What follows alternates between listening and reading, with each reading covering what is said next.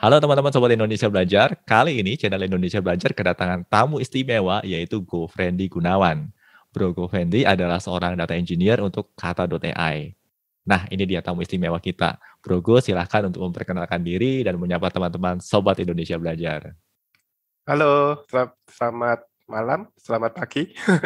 Halo teman-teman Sobat Belajar. Oke, nama saya GoFriendly, saya data engineer di kata.ai. Gitu. Oke, oke, oke. oke. Oh ya teman-teman, sekadar informasi, uh, Bro GoFriendly ini terbilang aktif loh di beberapa komunitas IT dan juga sering berbagi di banyak event komunitas. Nah, salah satunya itu di PyCon ID 2021 yang lalu. Nah, dalam sesi podcast kali ini kita akan ajak Bro GoFriendly untuk bincang-bincang seputar data engineering nih.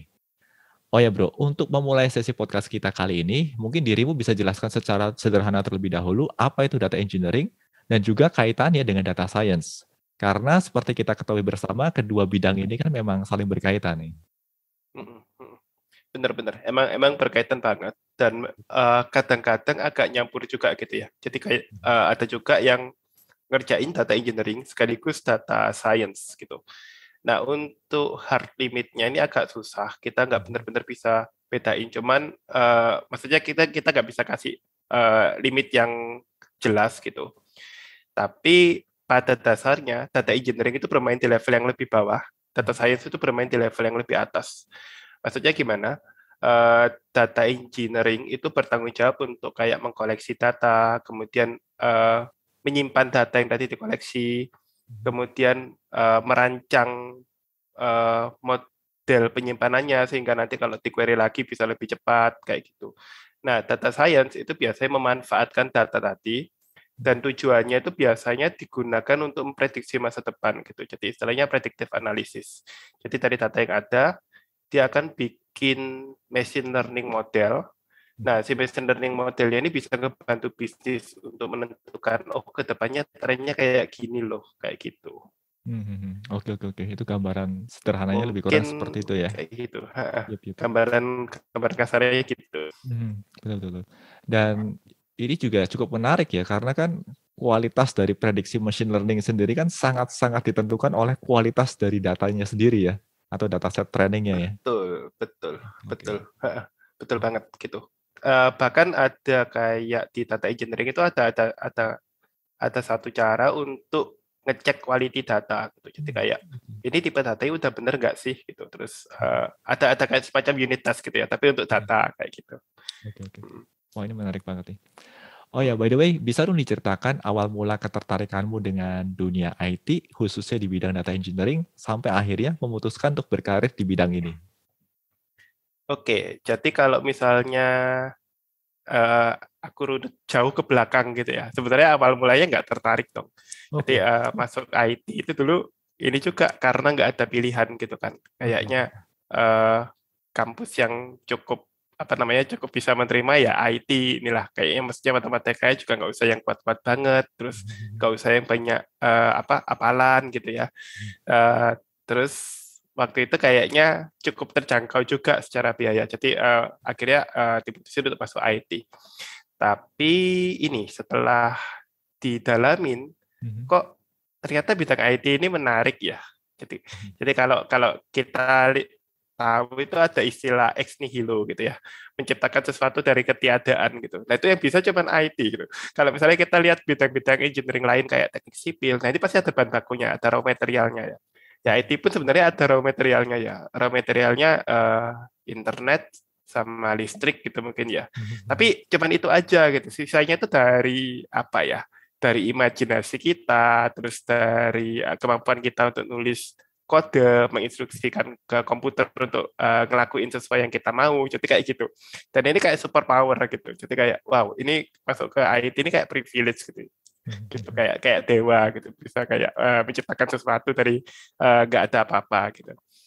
Nah, terus setelah bisa coding nih, mulai kepikiran, waduh, ini kok kayaknya kalau ngoding CRUD, create, read, update, delete gitu, kok ada polanya ya dan polanya ini berulang dan waktu dikerjakan secara manual ini kok rentan salah gitu. Misalnya hmm. waktu itu kita bikin pakai SQL. Waktu itu belum belum ada ORM ya. Atau mungkin sudah ada cuma saya nggak tahu. Jadi pakai eh, SQL biasa. itu sering banget keliru gitu entah kurang petik kelebihan petik apalah gitu nah uh, gimana kalau misalnya ini bisa diautomate gitu wah ini lebih lebih keren lagi nih bisa bikin program yang ngebikinin program gitu ya nah ini uh, sampai sekarang saya tertarik di bidang uh, di bidang itu ya otomasi itu jadi uh, otomasi ini menarik banget gitu nah berikutnya lagi otomasi ini kan sebenarnya kita harus tahu patternnya, kita harus ya. tahu rule-nya, baru kita bisa mengautomate. Nah, ada satu lagi yang lebih menarik nih, AI. Hmm. AI atau machine learning. Uh, kalau kita bikin satu sistem AI atau machine learning, itu bahkan kita nggak perlu tahu aturannya gitu.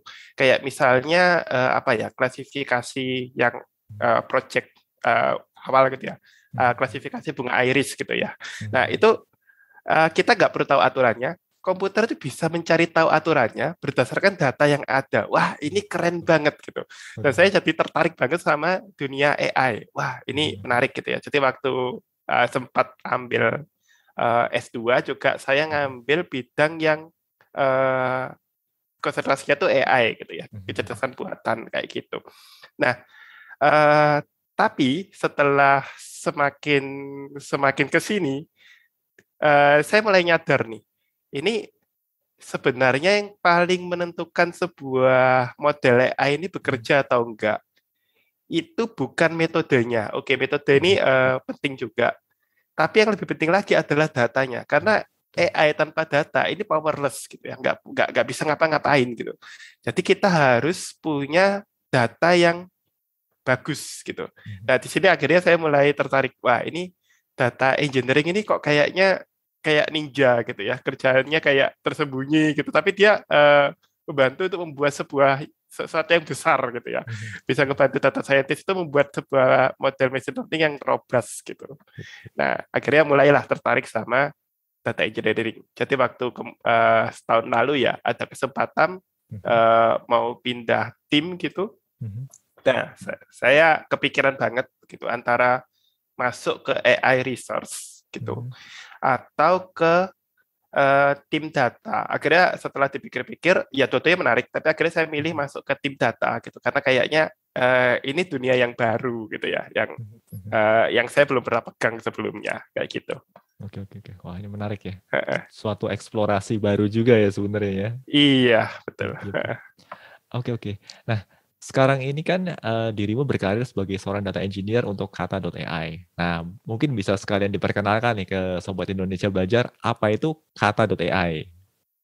Oke, jadi kata.ai itu adalah sebuah apa ya company yang uh, menyediakan satu layanan NLP. NLP itu uh, Natural Language Processing ya, pengolahan bahasa natural. Jadi kayak uh, misalnya saya ngomong gini, uh, saya pingin beli bakso dua mangkuk gitu ya. Hmm. Nah, eh, ini adalah kata-kata yang eh, natural, tapi kalau di komputer itu unstructured gitu ya. Bagaimana kita bisa tahu, oh kuantitinya itu dua, dan yang mau dibeli itu bakso gitu. Nah, ada eh, kita nyediain layanan kayak gitu. Terus kita juga punya satu produk yang eh, kayak jadi apa ya? Produk salah satu produk utama kita itu adalah chatbot gitu. Jadi kalau kalau teman-teman uh, pernah tahu ada kayak uh, apa ya kayak di misalnya uh, ada bot Veronica di Telkomsel gitu ya. Nah itu itu uh, back, uh, yang ngebikin model AI-nya itu juga kita. Kemudian uh, yang ngebikin bot engine-nya itu kita juga gitu. Hmm. Nah si katakan aja si Veronica ini atau bot-bot yang lain gitu ya. Mereka ini cukup cerdas untuk menjawab pertanyaan-pertanyaan pertanyaan yang trivial, misalnya kayak sisa kuota, terus uh, sisa pulsa. Nah, itu dia langsung bisa nyediain jawaban by template gitu ya. Mungkin dia akan tembak API gitu terus tahu kuotanya berapa, terus dia langsung balikin. Dan ini tidak perlu ngerepotin uh, apa customer service gitu. Jadi hmm. customer service-nya bisa menangani pertanyaan-pertanyaan yang penting-penting aja gitu. Tuh, uh, kurang lebih uh, yang dilakukan oleh kata AI itu kayak gitu. Oke oke oke. Oh ini menarik banget ya. Uh, implementasi chatbot sekarang ini juga makin marak ya sebenarnya ya. Iya, makin marak. Yep, yep, yep.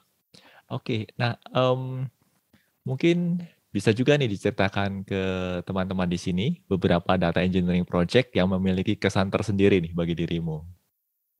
Oke, kalau data engineering project ini sebenarnya setiap kali saya ngerjain sesuatu itu pasti ada yang menarik gitu ya. Ini ini uh, bidang yang cukup baru buat saya, jadi kayak menarik banget gitu. Tapi uh, yang paling berkesan itu adalah uh, mungkin tahun lalu ya, tahun lalu itu ada satu inisiasi yang uh, dari teman-teman tech yang lain mm-hmm. uh, yang namanya BBW, warga bantu warga gitu. Jadi mm-hmm. si warga bantu warga itu cara kerjanya adalah uh, dia menyediakan layanan lewat WhatsApp mm-hmm. gitu. Uh, ada kerjasama sama Kiskas ya. Yeah. Uh, mereka uh, nyedikit mereka nyediakan layanan via WhatsApp. Terus ada volunteernya. Jadi kalau misalnya uh, warga itu butuh butuh butuh informasi kayak eh ini uh, oksigen yang tersedia itu di rumah sakit mana aja gitu.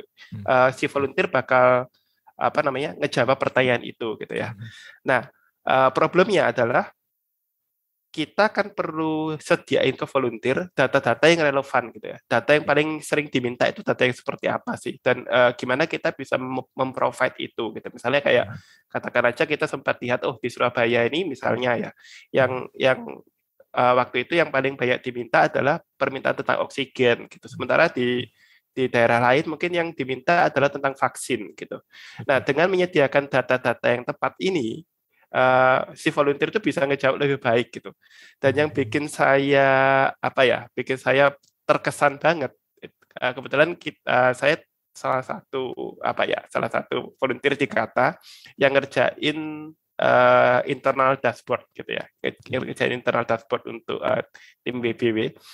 Dan uh, yang saya bisa lihat di situ adalah dengan kita membuat data yang dengan kita uh, berhasil mengumpulkan data yang tepat, maka kita ini bisa bisa loh menyelamatkan satu nyawa gitu. Kita bisa menyelamatkan orang gitu ya. Kita bisa bikin orang yang sebelumnya nggak tahu ini uh, cari tabak oksigen di mana, kita bisa provide itu dan kita bisa bikin uh, seseorang ini uh, apa ya uh, selamat gitu ya. Hmm, ya, ya itu menyelamatkan nyawa dan itu menarik banget. Jadi kayak uh, data bisa menyelamatkan nyawa. Ini benar-benar uh, sesuatu yang uh, bikin cukup apa ya cukup keren lah menurut saya. Yep, yep, yep, yep. Ya ini menarik ya karena jadi apa ya kita benar-benar bisa merasakan bahwa apa yang kita hasilkan itu atau yang kita upayakan itu memang punya value ya dan punya impact Betul. untuk society kita dan khususnya untuk konteks ini adalah konteks ketika orang orang-orang di sekitar kita memang sedang dilanda COVID ya ini interesting banget ini kalau menurut saya ini very interesting. Betul betul. Oke oke nah kalau berdasarkan pengalamanmu sejauh ini, ya tantangan-tantangan apa saja sih yang dihadapi dalam berkarir di bidang data engineering? Oke, tantangannya banyak banget gitu ya.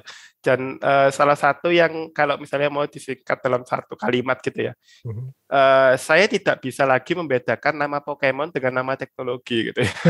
Itu kayak nama nama teknologi itu kayak, aduh, Yep, yep, wow yep. banget gitu ya kayak ada namanya ClickHouse, gitu. ada hmm. namanya apa uh, apa Cepino gitu ya, yep. terus ada apa gitu ya, banyak banget gitu, ada hmm. Spark, ada apa gitu. Nah, uh, yang mana ini udah banyak banget gitu. Waktu saya masuk itu kondisinya sudah cukup berantakan gitu ya. Maksudnya waktu saya masuk ke masuk ke bidang ini, hmm. kondisi kondisi stacknya itu stack data itu udah udah banyak banget gitu, ada banyak iya. banyak teknologi yang agak-agak tumpang tindih juga kayak gitu. Nah ini uh, susah gitu ya. Terus uh, antar teknologi itu nggak benar-benar yang kayak apa ya menyelesaikan satu masalah saja. Kadang-kadang satu teknologi itu menyelesaikan dua masalah. Hmm. Teknologi yang lain menyelesaikan tiga masalah gitu. Hmm. Kemudian ada ada masalah yang kemudian uh, ada interseksinya gitu ya. Ini ini hmm. kayak menyelesaikan A dan B, ini menyelesaikan A dan C gitu. Ya. Nah, uh, kadang-kadang approach mereka dalam menyelesaikan masalahnya beda gitu. Terus kadang-kadang ada juga yang kayak uh, teknologinya ini kayaknya bagus tapi secara politik nggak kuat gitu ya. Akhirnya kalah dengan teknologi-teknologi lain yang secara politik lebih kuat di backing oleh uh, perusahaan-perusahaan yang uh, lebih besar gitu misalnya.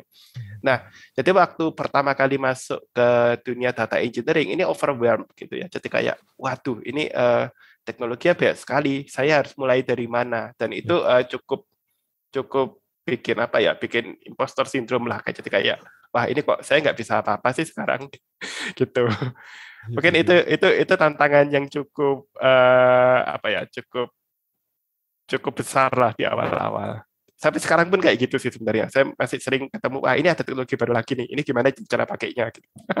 kayak gitu mungkin. Iya sih ya, yang namanya data engineering kan ini kalau berbicara mengenai teknologi kan ini ya terus-terusan berkembang ya sekarang ini ya. Dan iya.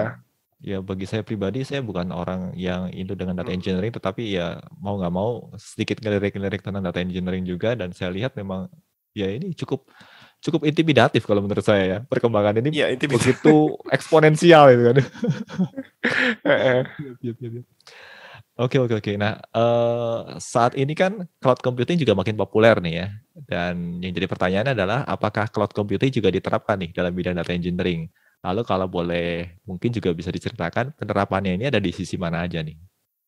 Oke, uh, selama kita nggak mau pegang infrastruktur sendiri, hmm. nah maka kita bakal tetap butuh uh, cloud computing gitu ya, penyedia-penyedia layanan cloud entah dengan cara kita pakai teknologi open source yang kemudian kita terapin di di, di infrastruktur cloud-nya, hmm. atau kita pakai uh, layanan yang udah ada. Jadi beberapa beberapa penyedia layanan kayak AWS atau GCP gitu ya, mereka tuh sudah punya stack-stack tertentu yang mhm. bisa kita pakai gitu ya. Nah, uh, kita tinggal milih aja mau pakai yang manage atau kita mau build from scratch gitu. Mhm. Nah, uh, gambarannya kayak gitu, gitu. Terus uh, kita juga bisa lihat bahwa kayak kalau sekarang ya uh, kalau kita ngomong cloud itu kayaknya kita nggak bisa lepas dari Kubernetes ya. Hmm. Walaupun ada upaya-upaya untuk uh, coba untuk nge-simplify atau ngegantiin gitu ya. Hmm. Cuman uh, kita nggak bisa pungkiri lah bahwa saat ini yang paling paling populer ya kalau kita mau ngomong cloud ya hampir pasti arahnya itu Kubernetes gitu ya. Hmm. Dan perintilan-perintilannya. Nah, beberapa tas yang sifatnya membutuhkan kayak scheduling gitu ya. Ini bisa loh di running on top of Kubernetes. Jadi kayak misalnya uh, kita ngomong kita mau melakukan ETL. ETL itu kepanjangan dari extract, transform, load gitu ya. Uh, maksudnya kita mengambil data dari sumbernya, kemudian kita ubah, transform, jadi extract, kemudian transform, kemudian kita simpan ke data warehouse gitu ya, ETL gitu ya. Nah, uh, proses ETL-nya itu misalnya kita mau pakai pakai uh, mau dischedulekan pakai Airflow gitu ya. Airflow ini ada satu kayak semacam scheduler. Bayangin aja uh, Airflow itu kayak cron job gitu ya. Kalau zaman dulu hmm. cron job, cuman uh, ini cron job yang ada lognya, terus uh, bisa di rerun lagi kayak gitulah kurang lebih ya. Nah, uh, si Airflow ini punya satu operat punya beberapa jenis operator. Jadi kayak dia bisa jalanin shell script pas operator gitu ya, atau bisa jalanin script Python, Python operator atau bahkan dia bisa ngejalanin uh, nge-spawn pod di Kubernetes gitu, pakai Kubernetes pod operator gitu. Nah, berarti uh, si Airflow ini uh, bisa mengendalikan beberapa aspek yang ada di Kubernetesnya, bisa mengendalikan resource di sana kayak gitu. Uh, ada juga kalau misalnya kita mau bikin yang model-model kayak streaming gitu ya, jadi yang uh, nggak nggak dischedulekan, tapi kayak uh, berang, berjalan terus menerus gitu ya. Nah itu lagi-lagi kita bisa pakai misalnya kayak pakai Spark application gitu. Nah itu itu kita bisa gunakan seperti itu. Dan Spark application ini uh, kalau di Kubernetes itu pakai apa ya? Pakai uh, custom resource definition gitu ya, CRD gitu. Okay. Nah uh, berarti untuk saat ini kalau misalnya teman-teman mau belajar data engineering mau nggak mau pasti akan nyentuh cloud dikit gitu, uh, hmm. pasti akan nyentuh cloud dikit atau banyak gitu. Kalau misalnya uh, kita disuruh install dari awal nih ya, gitu ya. Oh ini kita nggak mau vendor lock, kita mau uh, apa namanya uh, manage sendiri semuanya supaya nanti kalau misalnya dari AWS pindah ke GCP ini kita uh, tetap nggak nggak nggak perlu yang diubah gitu. Hmm. Maka teman-teman akan butuh uh, tahu Kubernetes itu kayak gimana, terus cara nginstal custom operator itu kayak gimana. Nah kurang lebih kayak gitu. gitu. Jadi uh, terkait banget sih. Gitu. Hmm, oke oke oke oke. Oke, oh ya menarik ya dan kebetulan dirimu ini juga kan cukup aktif ya di komunitas uh, Kubernetes ya. Oh iya sempat sempat uh, uh, bantu jadi organizer juga. Kubernetes Day ya kemarin itu ya. Ya di di ya di KCD. Oke oke oke oke. Oke nah um, kalau berdasarkan pengalamanmu sejauh ini, miskonsepsi apa saja sih yang umum ditemui terkait bidang data engineering? Dan mungkin di sini dirimu bisa sekalian bantu nih untuk meluruskannya. Oke. Uh, mungkin yang sering sering terdengar itu kayak ini ya data engineering itu ETL gitu extract transform hmm. block. Yep. Jadi uh, kalau mau belajar data engineering ya belajarlah ETL gitu. Hmm. Nah ini uh, nggak sepenuhnya salah ya. Okay. Tapi uh, pada kenyataannya waktu kita masuk ke data engineering itu nggak cuma ETL aja gitu. Ada ada banyak hal yang lain gitu kayak uh, ngurusin infrastruktur gitu. Terus uh, kayak menjaga kualitas data gitu ya Terus hmm. kadang-kadang uh, kalau company-nya apa ya masih belum belum yang segmented banget untuk setiap hmm. setiap departemennya, uh, kita bahkan perlu ngerjain beberapa task yang jadi kerjaannya uh, kayak misalnya bikin dashboard gitu ya. Ini kerjaan siapa? Hmm. Business analis ya kali. Eh sorry, uh, business, business intelligence, kali ya. Yep. Business intelligence. Uh, jadi uh, kayak uh, kita kita kadang-kadang ngerjain itu juga. Jadi uh, data engineering ini kayak apa ya kayak satu bidang yang gaduh-gaduh dan mhm. dia tuh jarang muncul di permukaan gitu ya. Jadi kayak uh, kalau saya ngomong kita engineering kayak ada di tengah gitu ya.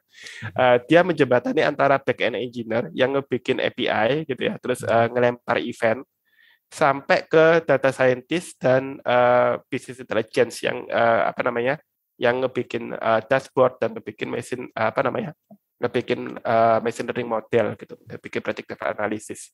Jadi kita benar-benar kayak ada di tengah gitu. Terus kita perlu berkomunikasi dengan banyak entitas kayak gitu. Hmm. Yep, yep, yep. Oke oke oke. Jadi itu ya miskonsepsi terbesar tuh yang menganggap bahwa data engineering itu hanya sekedar ETL ya, padahal nggak seperti iya. itu ya kenyataannya. Oke oke oke. Ini interesting banget nih. Oke, okay. nah sebagai seorang praktisi di bidang data engineering, menurut pengamatanmu, bagaimana sih pertumbuhan kebutuhan akan tenaga ahli dalam bidang data engineering, khususnya di Indonesia nih sekarang ini? Oke, kalau kalau kalau sekarang ini mungkin agak bias ya, karena karena kebetulan saya data engineer juga dan uh, lagi-lagi hiring juga ya. Saya lihat banyak banget uh, beberapa company kayak uh, yang nge-hire data engineer itu secara besar-besaran gitu ya. Hmm. Jadi uh, cari data engineer, cari data engineer gitu. Jadi uh, permintaannya sudah mulai banyak. Kalau misalnya uh, teman-teman lihat uh, mungkin setahun atau dua tahun yang lalu gitu ya, mungkin sebelum pandemi gitu ya, yang uh, yang trending itu data scientist ya. Hmm, betul, Kayak betul. semua orang itu pengen jadi data scientist. Wah ini keren banget data scientist itu menggabungkan statistik, menggabungkan uh, apa informatika, menggabungkan uh, apa namanya uh, banyak hal lah gitu bisnis dan seterusnya gitu ya dan ini ini kayak jadi jadi poin yang seksi gitu ya kayak semua hmm, orang pengen jadi data, data scientist tapi uh, ada ada satu masa di mana kayak tadi ya sebuah model machine learning ini tidak akan berjalan dengan baik kalau datanya nggak ada. Gitu. Data betul. scientist itu nggak bakal bisa kerja kalau datanya nggak ada.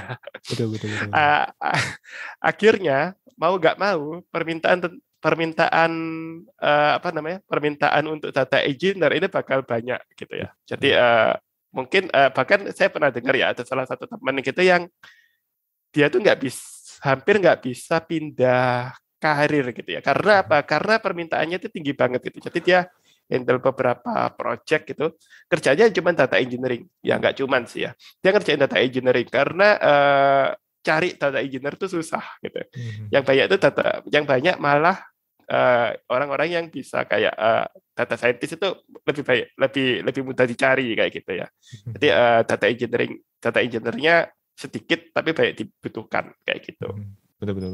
Ya ini memang hmm. benar banget sih ya statementmu ini ya.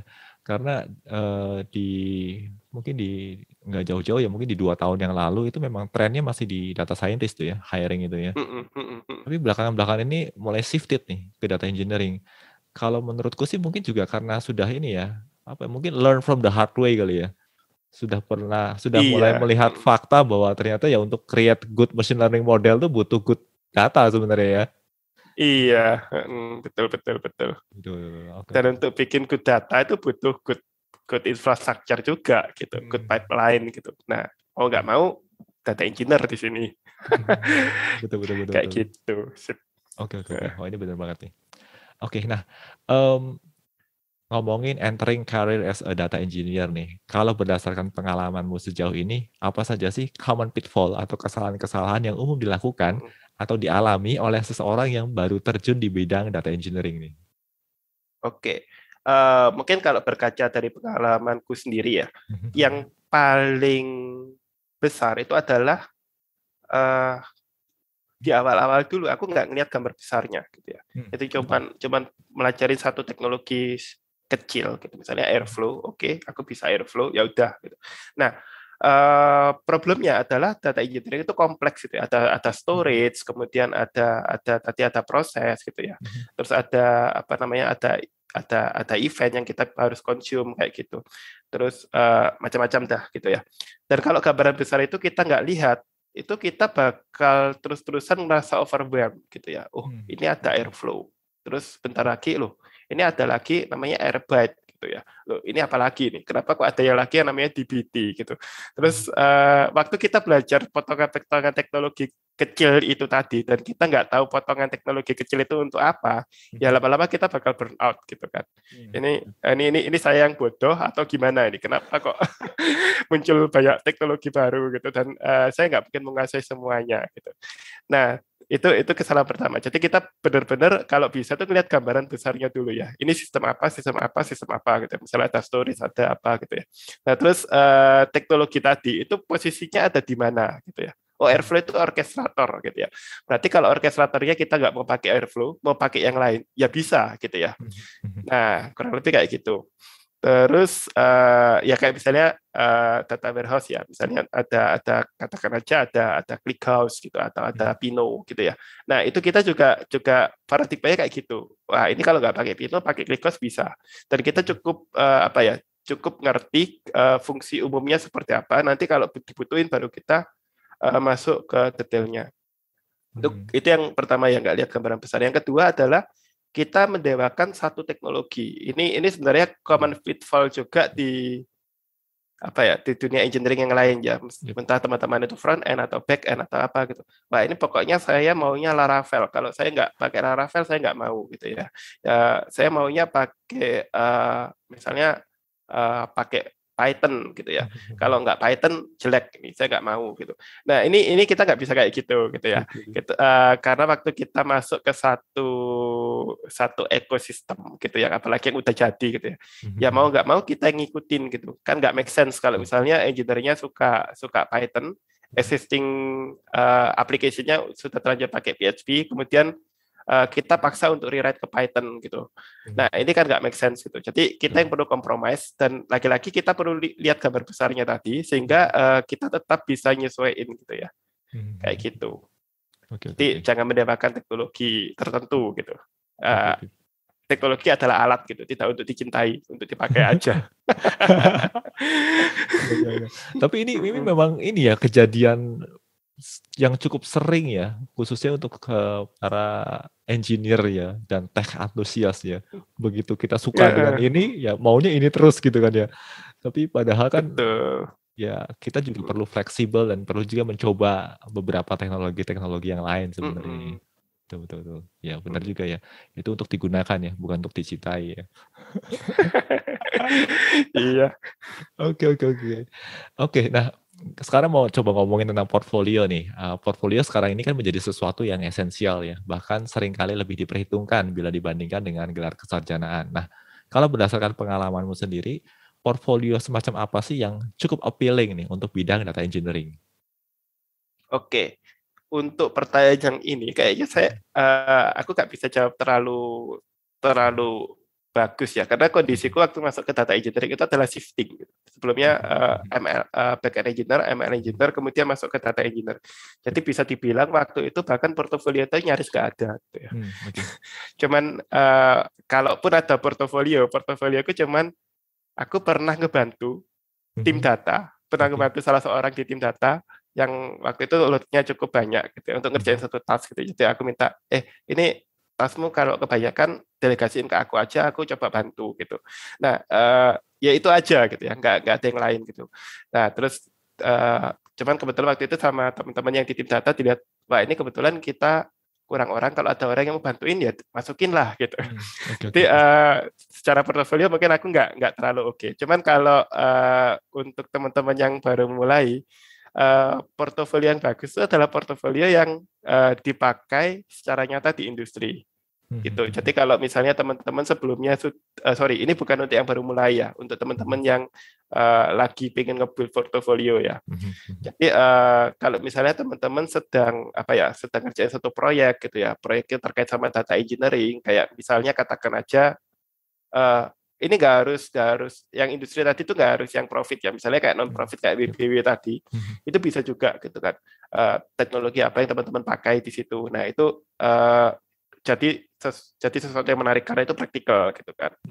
Terus kalau misalnya uh, kondisi teman-teman ini belum belum bekerja gitu. Nah ini kan nggak bisa nih bikin hmm. portofolio yang kayak gitu kan. Paling ya main-main di kalau sekarang yang banyak Kaggle, cuman Kaggle lebih ke data scientist ya. Jadi kayak ada data, data scientist seperti ini tantangannya kayak gini gitu.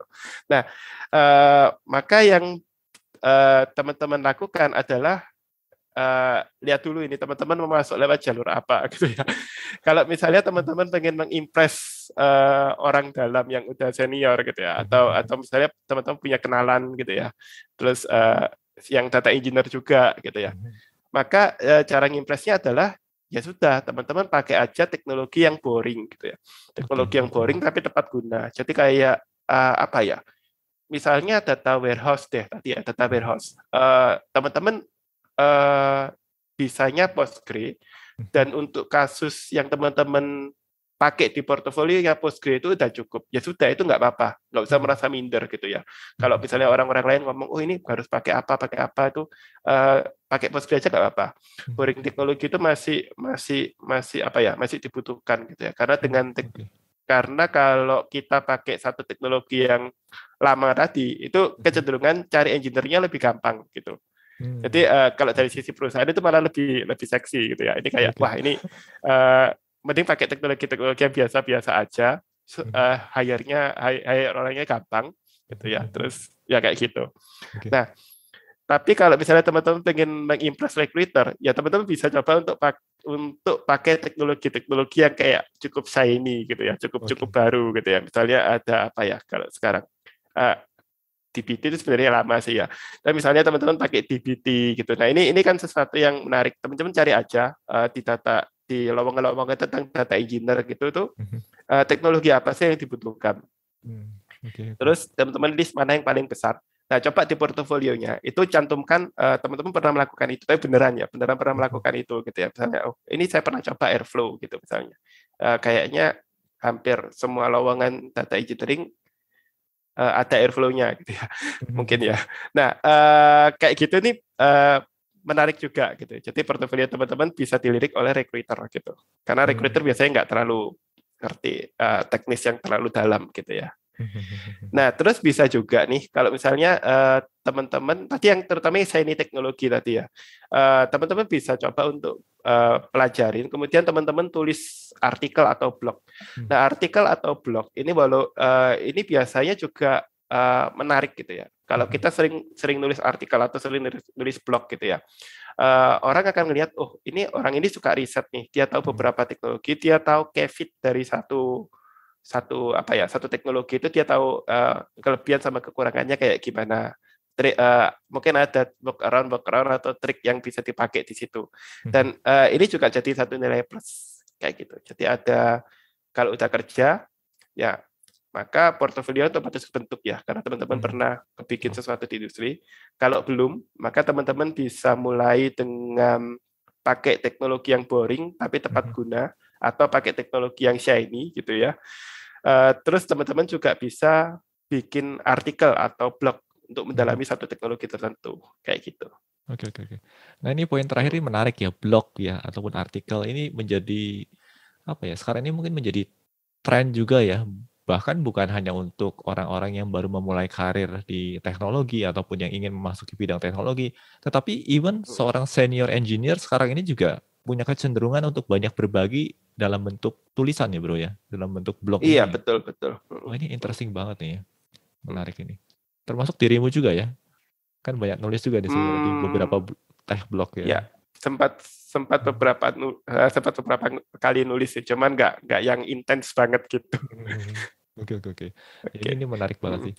Uh, mungkin bisa dielaborate lagi di bro. Maksudnya poin apa sih uh, atau benefit apa sih yang bisa diperoleh dari seorang uh, engineer ya dengan membuat tulisan berupa blog itu sendiri?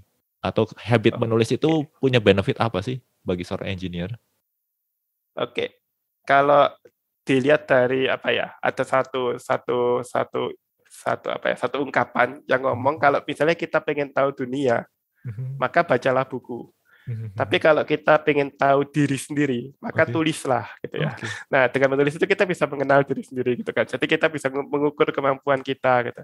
Mhm. Kenapa? Karena waktu kita menulis, kita itu sering dikonfrontasi gitu ya. Jadi kayak saya pernah pernah pernah satu saat itu uh, nulis tentang uh, machine learning yang dasar banget ya, gradient descent gitu ya. Nah, sebelum saya nulis, saya merasa saya itu udah paham gradient descent itu kayak gimana. Hmm, yep. Ah, ini kan cuman uh, turunan gitu kan, uh, untuk menentukan arah apa ya, memperbaiki error gitu ya, memperbaiki uh, ya, memperbaiki uh, eh, apa namanya, meminimize error function gitu. Nah, uh, tapi waktu saya mulai menulis, nah itu saya perlu provide example, saya perlu menyediakan contoh gitu. Dan waktu saya menyediakan contoh, saya nyadar, loh benar juga ya, ini gimana ya gitu. Nah jadi dengan dengan menulis tadi itu kita sebenarnya uh, bisa menambah pengetahuan kita sendiri gitu ya, membenarkan hmm. asumsi-asumsi yang tadi salah karena kita dipaksa untuk mengartikulasikan apa yang kita pahamin kayak gitu.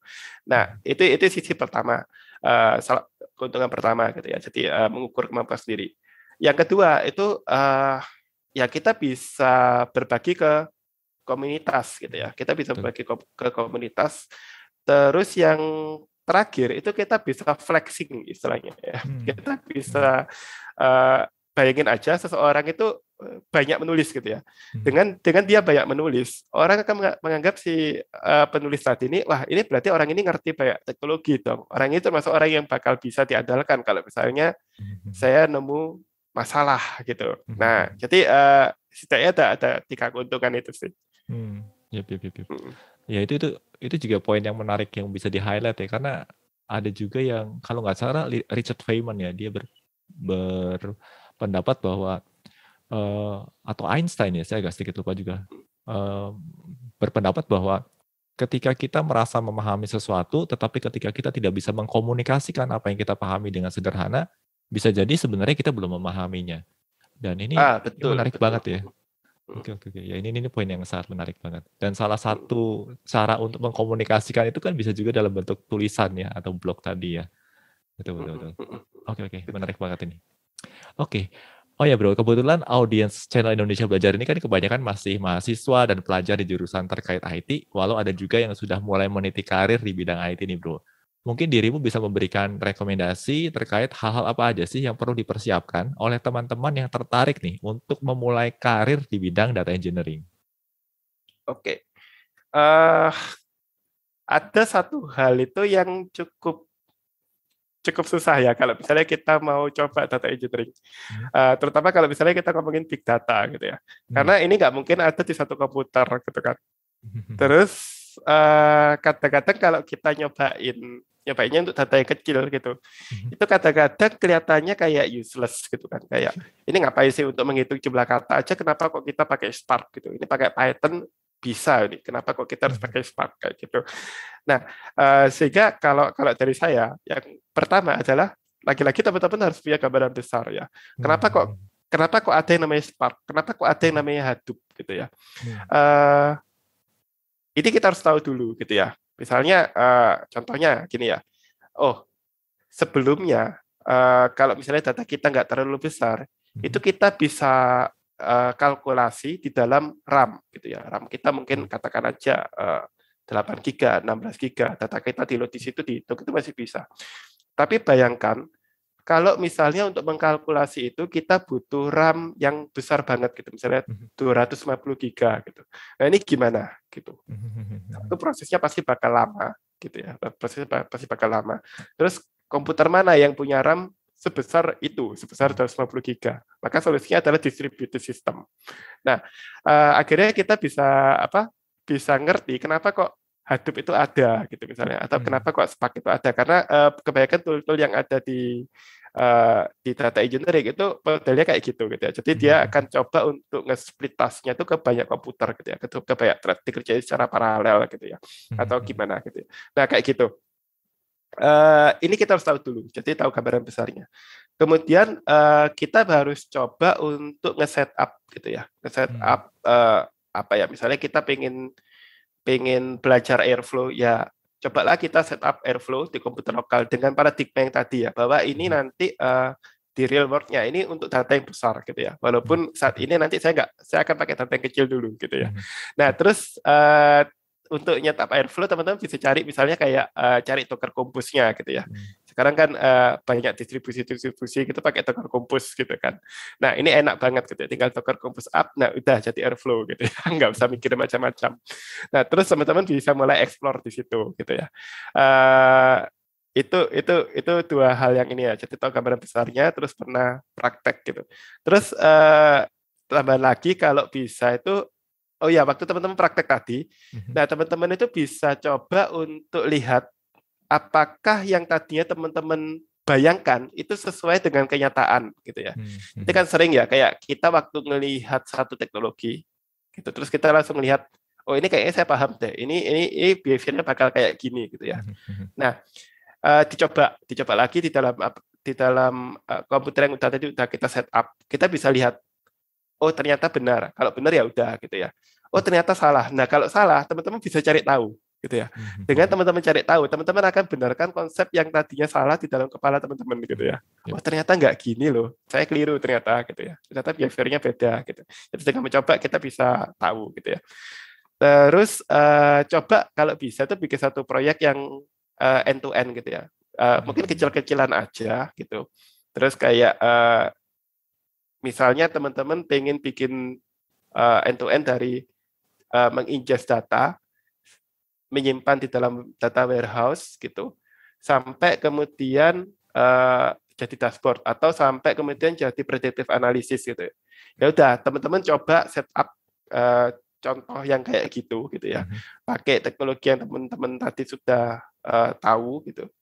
Terus uh, coba kerjain satu-satu gitu ya coba hmm. kerjain satu-satu nah dari situ kita akan tahu uh, gambaran besarnya terus kita akan bisa ngerjain secara kecil-kecil gitu ya hmm. nah ini ini bakal bakal ngebantu teman-teman karena nanti waktu di dunia nyata gitu ya mungkin uh, gam, teknologi kecil-kecilnya nggak sama tapi mungkin gambaran besarnya mirip gitu ya sehingga teman-teman bisa lihat oh ini saya pernah lakukan kok cuman yang di bagian tertentu misalnya di bagian uh, apa namanya ingestingnya kalau kemarin saya pakai RabbitMQ, ternyata ini sekarang uh, konsumnya pakai Kafka gitu. Misalnya uh, dat, uh, sorry, message busnya pakai Kafka gitu ya.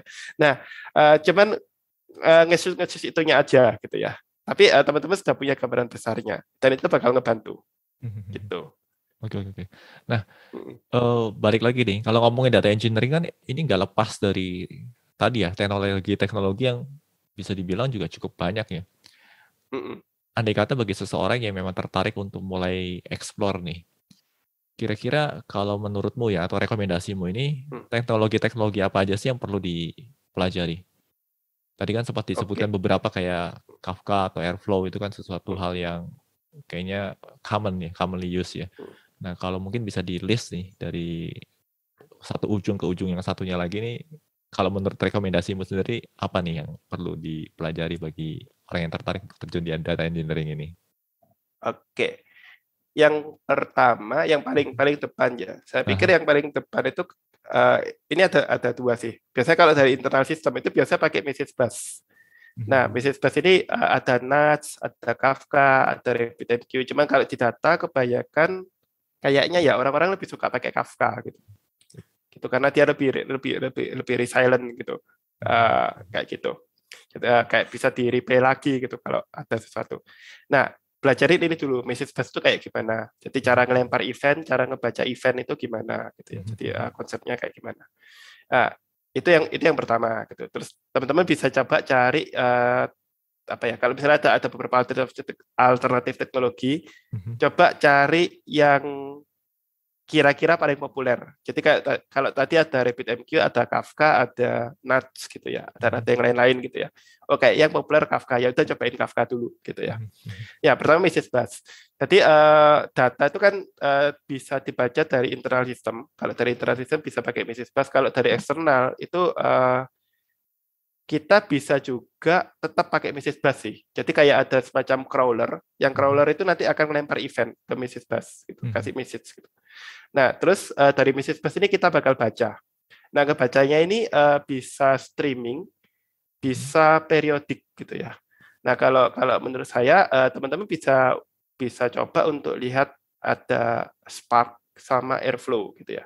Hmm. Airflow ini cukup cukup apa ya cukup banyak perintilannya gitu ya jadi kayak uh, mau ngebaca dari mana nulis ke mana dan uh, kita bisa pakai Python gitu ya kita hmm. bisa pakai Python karena Airflow sendiri ditulisnya juga pakai Python hmm. jadi uh, itu ya nanti ada message bus terus ada uh, yang ngebaca dari message busnya itu hmm. kita bisa pakai ETL yang ditulis pakai Airflow atau pakai Spark untuk streaming nah terus berikutnya teman-teman bisa belajar data warehouse gitu ya Mhm. teman-teman belajar data warehouse itu kayak contohnya misalnya ClickHouse atau uh, Pino gitu ya.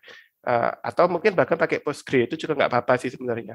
Uh, nah, jadi uh, setelah tiga komponen ini, terus berikutnya mungkin uh, butuh visualisasi atau uh, apa namanya training pakai machine learning kayak gitu. Mhm. Mungkin komponen-komponen komponen besarnya itu tadi. Hmm, oke oke oke. Hmm. Oke oke. Dan itu at least setidaknya sampai dengan ini ya 2022 Januari nih ya karena perkembangannya nih lumayan ini ya lumayan oh apa, betul rapid sekali. Uh, kalau zaman dulu kan kita taunya ini ya ETL ya extract hmm. transform load gitu. Betul. Jadi ngebaca, diubah, hmm. disimpan gitu ya. Betul, betul, nah, uh, beberapa tahun belakangan itu muncul juga istilah ELT di balik gitu ya. Hmm. Jadi kalau ETL kan habis disimpan, diubah, hmm. di, uh, sorry, dibaca, hmm. diubah, disimpan gitu ya. Hmm. Kalau untuk ELT itu dibaca, disimpan dulu gitu ya, disimpan dulu, ubahnya hmm. belakangan gitu ya. Jadi uh, kayak gitu. Terus istilahnya kalau nggak salah data lake gitu. Jadi uh, hmm. ya sebenarnya teknologinya sama, cuman uh, cara ngelihatnya ntar berbeda gitu ya. Hmm. Nah Terus ada juga yang tadi ETL ada ELT. Mhm. Sekarang itu ada juga yang namanya ETL-less atau apa gitu ya. Jadi kayak benar-benar itu uh, kalau teman-teman tahu di dalam database itu kan kita bisa bikin view ya. Hmm, Jadi ada tabel, ada view. Nah, view itu sebenarnya apa? View itu adalah query yang nanti uh, bisa diakses seolah-olah dia itu tabel gitu ya. Hmm, betul betul. Nah, uh, sekarang ada juga yang model-model kayak gitu gitu ya di dalam ini. Uh, pakai apa? istilahnya itu materialize view gitu ya materialize view jadi dia dia uh, dia bikin kayak semacam query mhm. dan itu kayak dia tuh nyimpan juga gitu ya sehingga nanti waktu diakses lagi itu lebih cepat gitu mhm. nah uh, saya saya pikir prosesnya sama ya jadi uh, ngambil kemudian disimpan uh, ke bentuk yang enak untuk di query, kemudian nanti bakal dikonsum gitu. Cuman uh, sekarang kita sudah lihat ada beberapa approach gitu dari ETL, ELT, bahkan ETLs tadi misalnya pakai materialize materialize view gitu ya kayak gitu. Yep, yep. Mm-hmm. Tapi untuk awalan mungkin fundamental atau foundation terkait ETL juga sebenarnya cukup membantu ya untuk misalkan membantu, membantu. ke arah nah. yang lainnya. Yep, yep, yep. Iya. Nah. Karena kayak kalau aku pikir kayak misalnya uh, kita bakal kesulitan memahami kayak ETLs tanpa kita tahu ETL itu apa aja gitu. Yep. Jadi uh, kita tetap perlu tahu sih ETL itu kayak gimana, terus uh, kenapa kok ada approach yang lebih baik kayak gitu. Hmm. Yep, yep, yep, yep. Oke, oke, oke. Oke, nah uh, sampai di titik ini aja kayaknya kita udah ngomongin banyak teknologi nih ya sebenarnya ya. At least ngomongin nama-nama teknologinya nih. Dan, uh, iya, nama-namanya. dan dari sini sebenarnya kan udah uh. mulai kebayang ya bahwa perkembangannya itu begitu luas dan rapid sekali dan dinamis sekali nih untuk bidang data engineering. Nah, mungkin di ah, sini betul. dirimu bisa sekalian berbagi nih ke teman-teman uh, upaya-upaya apa saja sih yang biasanya dirimu lakukan dan upayakan untuk bisa tetap up to date dengan perkembangan bidang data ini. Oke. Uh, mungkin kalau saya itu yang yang selalu saya pegang di mana pun itu, hmm. itu adalah selalu pegang gambar besarnya, hmm. pegang uh, global ini ya gitu ya, kayak kayak komponen-komponennya apa aja gitu. Terus uh, teknologi ini cocok berada di komponen mana, teknologi ini jadi jadi apa di dalam uh, gambaran besar tadi. Hmm. Nah ini penting banget karena begitu kita kita lupa gambaran besarnya, hmm Akhirnya jadinya kayak meaningless gitu ya. Kita kayak ngerjain sesuatu terus nggak tahu ini benar-benar yang sambungannya nanti ke mana. Gitu. Kenapa kok kita perlu mengerjakan ini gitu. Nah itu itu yang pertama. Terus uh, yang kedua ini lebih ke arah ke arah ini ya ke, ke arah mentalitas ya. Kayak kita tuh mhm. sebenarnya nggak perlu nggak perlu bisa semua teknologi gitu ya. Mhm. Jadi kalau kalau tadi kita sudah pegang gambaran besar tadi, kan kita tahu nih ada setiap apa setiap komponen di dalam gambar besar tadi. Nah, setiap komponen tadi itu mungkin bisa diisi dengan teknologi yang berbeda-beda. Cukup ambil salah satu aja gitu ya. Cukup pernah ngerasain gitu. Nah, uh, biasanya saya cukup sampai di situ gitu ya. Oh, ini uh, apa namanya? Uh, orchestration gitu ya. Ya sudah, cukup pernah pakai Airflow gitu ya. Nanti masalah ke depan, oh kita nggak pakai Airflow lagi ya sudah saya kan udah ngerti orchestration itu kayak gimana gitu kan. Ya. Nanti tinggal uh, menyesuaikan gitu. Jadi jangan jangan merasa apa ya? Jangan merasa kayak oh kita harus tahu semuanya. Kita nggak harus tahu semuanya. Kita cukup uh, tahu posisi teknologi itu di mana, uh, cara uh, fungsinya untuk apa gitu. Terus yang ketiga itu ini sih baca dokumentasi sama baca buku ya. hmm Tapi uh, lebih ke baca dokumentasi dulu ini. Dunia data engine dunia data engineering itu sebenarnya adalah back end engineering yang dispesial yang dispesifikan gitu ya. Jadi kayak kayak kita bisa ngomong kayak ada dokter umum, kemudian ada dokter spesialis gitu ya. Eh, data engineer itu kayak dokter spesialis gitu. Jadi uh, ya ini ini back end engineer cuma ngurusin data gitu. Nah, uh, waktu teman-teman nemu masalah gitu ya, kalau masalahnya masalah-masalah yang spesifik, itu cari bantuan itu akan semakin sulit gitu ya. Cari di Stack Overflow itu yang bisa ngebantu dikit gitu ya. Kalau misalnya permasalahan teman-teman umum, yang hmm. ngebantu banyak, tapi begitu masalahnya dikit gitu.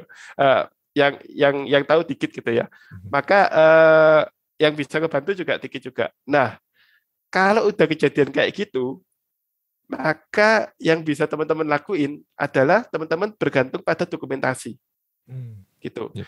Nah, kadang-kadang eh, apa ya di dalam apa ya untuk untuk setiap teknologi itu dia punya dokumentasi yang sudah diatur, gitu ya, sudah hmm. ada table of contentnya. Hmm. Nah, waktu teman-teman pertama kali lihat dokumentasi itu bisa mulai dengan baca table of contentnya tadi. Hmm. Ini di dalam di dalam dokumentasi ini ada ada apa aja sih, apa aja yang dibahas di sini gitu ya. Sehingga uh, nanti teman-teman bisa lebih mudah untuk mapping. Kalau misalnya saya butuh sesuatu, saya harus ke klik link yang mana. Ini trik ini juga bisa dipakai untuk baca buku ya. Kemarin saya sempat ini sih, kalau kalau kebetulan di di kata itu ada satu OKR itu ngebaca buku ya. Jadi kayak uh, setiap setiap uh, quarter itu kita wajib nyelesain satu buku, kita wajib bikin resume gitu ya. Mhm. Nah itu uh, kemarin saya pernah agak-agak agak-agak mepet gitu karena lupa. Nah itu uh, ngebaca buku dalam waktu dua hari gitu ya. Bukunya. Kubernetes pattern gitu kan. Nah yang yang saya lakukan apa? Ya sudah itu table of contentnya saya print. Okay, okay. Terus saya letakkan di di apa ya di samping saya Kemudian saya baca buku PDF-nya gitu. Nah, dari table of content ini yang kira-kira saya nggak ngerti yang mana, itu yang saya baca dengan detail. Yang saya udah ngerti, saya agak-agak skip-skip dikit gitu. Akhirnya dalam dalam dua hari selesai itu bukunya gitu ya. Saya, saya minimal tahu lah buku ini ngomong tentang apa. Kalau ada kalau ada masalah, saya harus buka bab yang mana gitu. nah, teman-teman bisa bisa mungkin bisa bisa contoh bisa ambil trik yang serupa ya kayak gitu. Yep, yep, yep, yep. Nah, Oke oke. Nah ini juga uh, hal yang menurut saya cukup menarik nih ya. Karena hmm. di bidang engineering ya, software engineering ataupun data engineering, um, budaya baca itu menjadi apa ya? Meningkat ya kalau saya lihat ya beberapa so, so, uh, senior software engineer, senior data engineer juga setiap kali mereka deliver talk juga mereka sering kali uh, membawa beberapa rekomendasi readings ya atau readings uh, recommendations dan ini juga uh, kali ini juga uh, dirimu juga sampaikan mengenai ini nih. Nah, kalau boleh tahu ya, seberapa penting sih uh, reading habit ya atau kebiasaan membaca untuk mendukung pekerjaan di tech related area ini nih?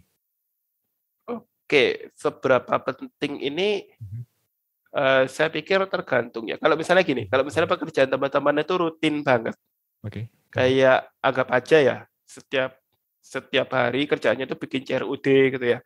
Mungkin teman-teman nggak usah baca pun nggak apa-apa gitu ya. Di awal-awal baca, terus setelah itu uh, udah nggak usah baca lagi, itu saya sudah hafal gitu. Terus kerjainnya uh, tiap hari kerjain itu aja gitu, itu nggak apa-apa.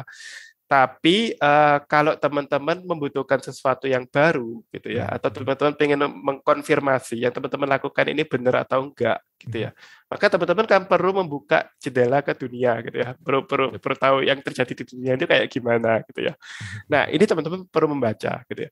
Uh, membacanya mungkin nggak usah textbook yang tebal-tebal gitu ya, buku buku-buku O'Reilly yang berat-berat gitu ya, mungkin nggak usah kayak gitu teman-teman bisa mulai dengan uh, oke okay, kalau saya kebetulan di komputer ini install satu satu plugin di browser yang namanya daily.dev tiap hari daily.dev gitu ya. Nah si daily.dev ini uh, bisa munculin uh, feed gitu ya. Jadi kalau kita nanti buka satu tab baru, kita akan dapat feed artikel-artikel uh, yang uh, kita bakal tertarik gitu ya. Artikel misalnya kita pengen baca tentang data engineering. Nah, kita akan tahu uh, kita akan dapat artikel-artikel yang kayak gitu. Mhm. Dan kita bisa tahu tren saat ini tuh kayak gimana. Okay. Orang saat ini sedang ngapain gitu ya. Uh, artikel seperti apa yang uh, banyak dibaca orang. Nah, itu uh, membantu kita supaya uh, memperluas paradigma kita gitu ya. Mhm. Kayak tadi misalnya, oh saya sudah melakukan ETL bertahun-tahun, loh ini kok tiba-tiba uh, ada artikel tentang ETLs gitu ya. Wah, ini apa ini gitu ya. Terus kita baca akhirnya tahu gitu ya. Wah, nah ini ini uh, penting gitu ya. Ini penting hmm. kalau misalnya kita pengen mengembangkan ke arah sana gitu ya. Hmm. Kita pengen uh, kayak gitu.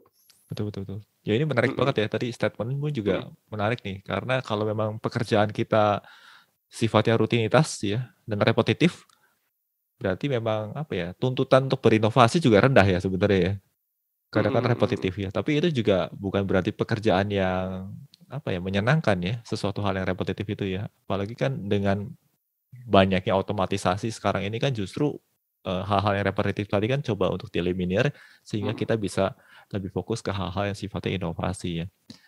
Oke. Okay. Iya. Uh, ini mau sedikit ngomongin tentang komunitas nih, karena kan kebetulan dirimu juga cukup aktif nih di komunitas nih. Mungkin dirimu okay bisa sedikit berbagi nih, maksudnya apa sih benefit uh, yang diperoleh dari seorang engineer ketika mereka uh, aktif di komunitas? Oke, okay. uh, ada banyak ya uh, benefit waktu kita join ke komunitas. Mm-hmm. Tapi secara secara sederhananya gini, mm-hmm. saya tidak mungkin uh, bekerja di tempat saya sekarang. Kalau hmm. saya tidak join ke komunitas, gitu. Hmm. mungkin saya cerita dikit okay. uh, eh, dulu. Itu kebetulan uh, saya masih waktu masih ke dosen gitu ya. Hmm. Saya kebetulan waktu itu dapat dapat apa ya? Dapat tas untuk uh, nge-build komunitas di kampus gitu kan. Okay. Nah ini gagal terus gitu ya. Nge-build komunitas di hmm. kampus itu ternyata susah banget. Gitu. Nah yang saya lakukan apa? Saya coba untuk lihat komunitas di luar itu kayak gimana gitu. Yep, yep. Nah dari situ akhirnya saya tahu. Terus uh, komunitasnya ternyata bentuknya kayak gini gitu ya. Walaupun waktu itu saya cukup apa ya masih belum masih belum berhasil ngebuat komunitas yang ada di dalam kampus. Hmm. tapi dari situ saya dapat banyak insight yang menarik gitu ya. Misalnya kayak wah ini kok komunitasnya ini ngomongin teknologi-teknologi yang saya nggak tahu gitu. Hmm, hmm, nah tapi uh, waktu saya join ke komunitas akhirnya saya dapat keyword-keyword yang perlu saya baca gitu. Hmm. Jadi waktu kebetulan saya join itu sekitar tahun berapa ya? Uh, 2019, 2018 gitu ya. Okay. Ya sekitar tahun itu. Uh, waktu itu yang banyak dibicarain itu adalah microservices gitu kan. Hmm. Nah saya penasaran banget, loh kenapa kok kita harus bikin microservices? Kan biasanya kita pakai WordPress saja bisa gitu kan. Hmm. Kita bisa pakai Laravel gitu. Terus kenapa kok harus uh, ada microservices ini gitu ya? Uh, kalau mau rollback juga lebih susah kan karena melibatkan banyak uh, banyak aplikasi gitu. Nah, uh, tapi dari situ akhirnya saya belajar gitu ya. Saya belajar, saya kalau misalnya dia nggak ngerti, saya bisa tanya ke teman-teman yang lain walaupun belum tentu kejawab juga gitu. Ya. Tapi saya dapat keyword-keyword yang uh, bisa saya pakai gitu. Terus yang kedua, waktu saya join komunitas, uh, networking saya kebuka. Gitu. Ya. Saya bisa ketemu dengan biasanya pembicara-pembicara itu biasanya uh, ini ya, mereka deliver sesuatu mhm, mhm. sekaligus sama hiring gitu ya. Oh, yeah. spotting kandidat gitu ya. Jadi uh, ini ini waktu offline ya. Sekarang kalau online agak susah ya. Gimana cara spotting kandidat kalau online? Cuma waktu offline uh, biasanya kayak gitu gitu. Jadi mereka uh, datang deliver materi, kemudian uh, akan ada orang-orang yang tertarik gitu ya, ngajak-ngajak bicaranya ngomong lebih jauh gitu ya. Nah ini sekaligus bisa dijadikan ajang hiring gitu ya. Mhm, nah kebetulan saya termasuk salah satu yang uh, lewat jalur itu gitu ya. lewat jalur itu. Nah, networking gitu. Yang ketiga itu adalah dengan teman-teman uh, join komunitas, teman-teman juga akan punya exposure gitu ya. Teman-teman hmm. punya apa namanya? punya apa ya? Istilahnya lebih lebih lebih bisa dikenal oleh orang lain gitu ya. Gitu. Apalagi kalau misalnya teman-teman tergabung ke kayak apa ya jadi volunteer atau uh, jadi pengurus gitu ya. Nah, itu teman-teman akan lebih ke expose. Nah, dengan teman-teman lebih ke expose, itu teman-teman akan banyak dilirik juga oleh eh, perusahaan-perusahaan yang uh, apa ya, yang memang membutuhkan uh, talenta yang kayak teman-teman gitu. Mhm. Oke. Bahkan uh, kalau saya cerita mungkin uh, untuk Pak Budi mungkin sama mhm. juga ya. Mhm. Kayak uh, mungkin di, di link ini tuh banyak banyak message yang masuk yang ngomong oh aku lihat kamu aktif di komunitas ini gitu. Nah kebetulan kita butuh kayak gini kayak gini kayak gini gitu. Nah ini salah satu uh, benefit juga gitu. Jadi yang paling banyak networking gitu ya, networking terus opportunity gitu ya, terus uh, itu tadi apa namanya uh, kita dapat keyword-keyword yang menarik yang kita bisa pelajari lebih jauh kayak gitu. Hmm, betul betul betul. Ya ini benar banget sih. Jadi ini loh buat teman-teman khususnya buat teman-teman mahasiswa ini dan pelajar ya jadi cobalah join ke komunitas karena banyak banget loh benefit dari komunitas itu. Dan bagi teman-teman yang senior juga join juga di komunitas karena itu kesempatan untuk berbagi. Dan yang menarik dari komunitas adalah itu juga mengajarkan kita untuk humble ya. Karena ketika kita di komunitas kita bisa ah. bertemu dengan orang-orang yang mungkin punya skill yang yang kita nggak pernah kebayang sebenarnya ya sebelumnya ya. Ini menarik banget nih dari komunitas ini. Oke, ini sesi bincang-bincang yang menarik banget kali ini untuk Bro Guru Go Friendly. Mungkin kalau ada closing statement yang mau disampaikan ke teman-teman sobat Indonesia belajar, kami persilahkan, Bro. Oke, okay. uh, eh, apa ya? Mungkin uh, kalau misalnya disuruh closing statement, dari tadi saya banyak ngomong ini ya, perhatikan gambar besarnya gitu ya. Nah, mungkin uh, ini juga satu kata-kata yang yang klasik gitu ya. Kemarin juga sempat saya sampaikan uh, think globally, act locally gitu ya. Jadi teman-teman tetap perlu apa ya? Perlu bisa melihat dari perspektif uh, mata burung hmm. eye gitu ya sama uh, perspektif yang lebih detail gitu ya okay. uh, teman-teman perlu melakukan itu gitu ya jadi uh, perlu perlu perlu selalu pegang gambar besarnya perlu selalu tahu ini nanti uh, arahnya ke mana gitu ya yep, yep. tapi teman-teman juga harus bisa ngerjakan secara detail ngerjain lokalnya gitu ya oh ini uh, saya tahu gambaran besarnya oke okay. Uh, saya akan fokus di bagian messaging dulu gitu ya. Ya sudah, saya fokus di sini dulu. Tapi dengan teman-teman tahu gambaran besarnya tadi, teman-teman akan lebih punya apa ya? kerjaannya itu lebih terarah gitu loh. Kayak apa ya? Kayak uh, teman-teman merasa punya tujuan gitu ya. Nanti saya akan bikin satu sistem yang besar gitu ya. Tapi untuk bikin sistem yang besar itu ya kita mulai dari sistem yang kecil ini dulu gitu ya. Nah kayak gitu. Terus uh, mungkin ini juga ya dari pengalaman saya uh, selama beberapa apa ya beberapa beberapa tahun terakhir Nah, ada hal yang menarik itu adalah gini. Uh, pada dasarnya, bahkan seorang junior pun itu mhm. punya sesuatu yang tidak dimiliki oleh senior gitu ya.